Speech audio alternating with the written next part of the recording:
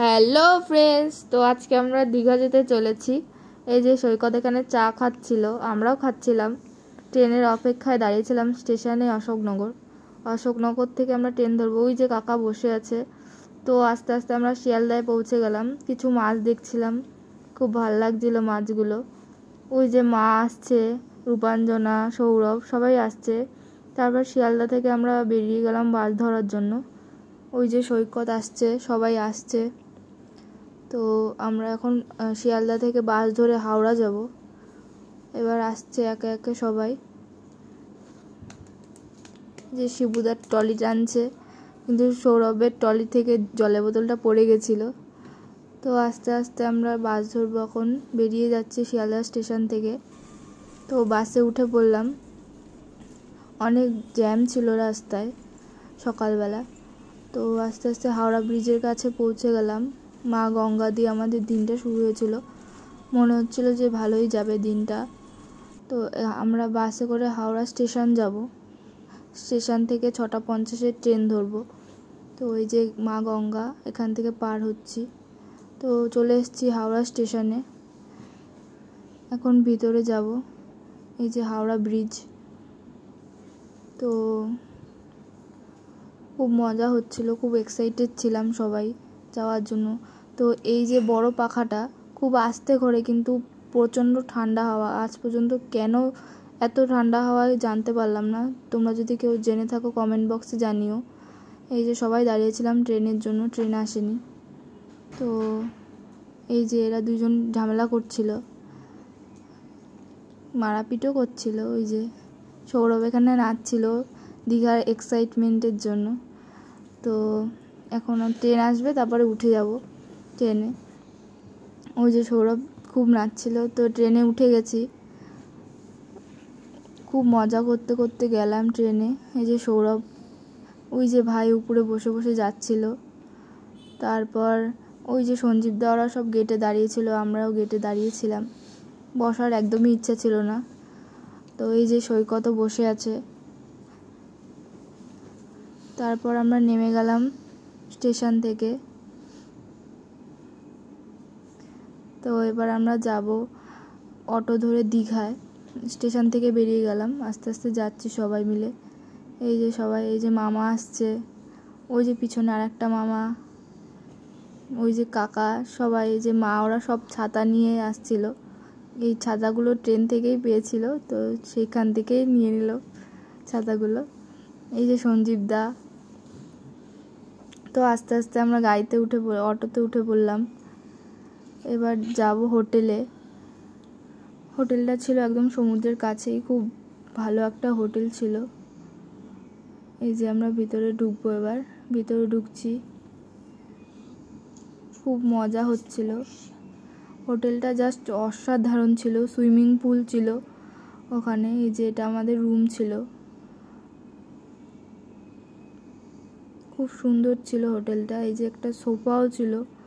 এটা ছিল মামাদের ঘর যেখানে পদ্ম ফুল দিয়ে সাজানো ছিল। ব্ল্যাঙ্কেট দিয়ে পদ্ম ফুল করা ছিল। ওই যে পটল বসে আছে। ওই যে রূপাঞ্জনক এসে বসল। এই যে সৈকত, হাই করছে। ওপরটাও খুব সুন্দর ছিল হোটেলটার। তো আমি আর, আমি আবার হোটেলটা দেখে নাচছিলাম এত সুন্দর হোটেলটা। তো বাথরুমটাও খুব বড় ছিল। এখান থেকে একটুখানি গেলেই দীঘার সি বিচ, যেখানে আমরা স্নান করতে যাব। এই যে ভাই। তো এবার স্নানের জন্য বেরিয়ে গেলাম সবাই মিলে। ওই যে কাকিমণি নাচছে, ওই যে আমরা সবাই যাচ্ছি। ওই যে ডিনাও যাচ্ছে। এই যে কাকিমণি। এই যে দিয়া দিয়া একটু লজ্জা পাচ্ছিল।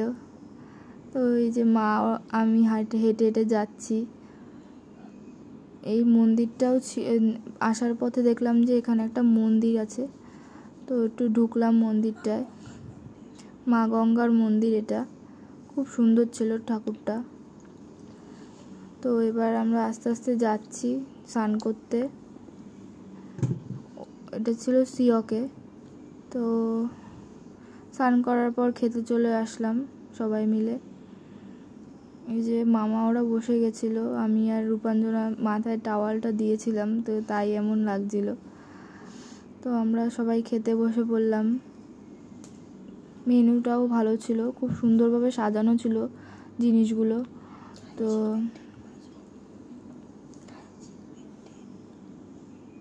তারপর আমি একটু ভাত নিয়ে নিলাম। ভাতগুলো অনেক ছিল কিন্তু আমরা খেতে পারিনি এত ভাত। এবার সৈকত ভাত নিচ্ছে। এই যে ভাতটা নিল একটু।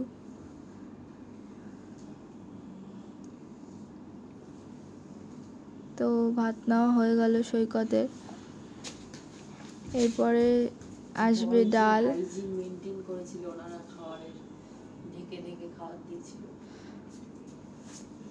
ডাল নিল। ডালটাও খুব টেস্টি ছিল। হোটেলের সব কটা খাওয়ারই খুব ভালো ছিল। তো তোমরা যদি কেউ দীঘায় আসো, এই হোটেলটাই প্লিজ আসতে পারো। খুব ভালো hotel. Hotel marine blue name এটার। তো ডাল ছিল, আলুর চিপস ছিল। আলুর চিপসটাও খুব টেস্টি ছিল আর অনেক অনেক করে দিচ্ছিল। তো আলুর চিপসের পর আসবে কাতলা কালিয়া। সেটার ভিডিওটা করা হয়নি। তো এরপর আমরা খেয়ে দিয়ে হোটেলে চলে আসলাম। তারপরে শুয়ে পড়লাম একটু রেস্ট নিচ্ছিলাম। সবাই পার্কে করছিল।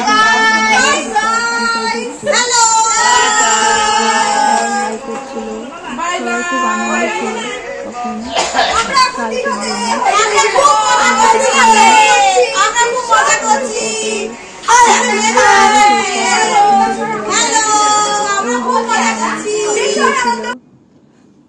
তারপর একটু ফটোশ্যুট করলাম হোটেলে। হোটেলটা খুব সুন্দর ছিল। তো তোমরা লাইক কমেন্ট শেয়ার করতে একদমই ভুলো না। নেক্সট পার্ট টু আসছে ব্লগের, দীঘা। তো উদয়পুরে যাচ্ছি আমরা নেক্সট দিন। তারপরে তাজপুরে রিসর্টে থাকছি। সব কিছুর ব্লগ আসবে, তোমরা দেখতে থাকো। চ্যানেলটাকে সাবস্ক্রাইব করে রাখো। এই যে অনেক লাইক করো। এই যে আমি একটু ফটোশ্যুট করলাম। টাটা বাই বাই আজকে।